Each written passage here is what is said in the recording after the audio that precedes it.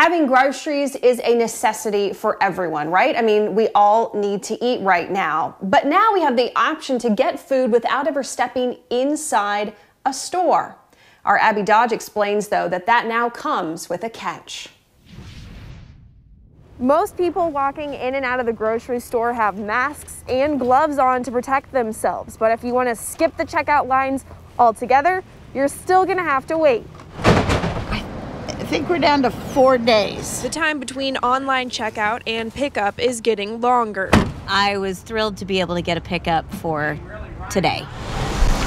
Hy-Vee says over the last two weeks, demand for pickups and delivery has quadrupled. Yesterday, there was a line of cars all the way back to the end of the parking lot there. Shoppers aren't always getting everything on their lists. I think I saw toilet paper, which you haven't been able to get in a while. For some, waiting for whatever they can get is worth it. I appreciate not having to go in there because I have healthcare workers on the front line that live in my house. Thank you. Have a great day. It was just one of those things where we thought we have this ability to take care of it this way and why put ourselves at any risk or put other people at risk as well. But it does take some planning. It's harder, but we just try to figure it out together like what are we going to need in four days? Catherine Bikina is planning ahead too, but still making trips inside the store.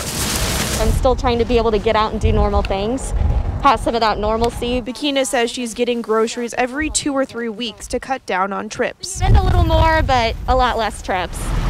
On the flip side, DoorDash employees are in line for pickup multiple times a day. I stay busy all day. Shopping inside or online, there's a greater appreciation for those who keep us fed. These people are amazing.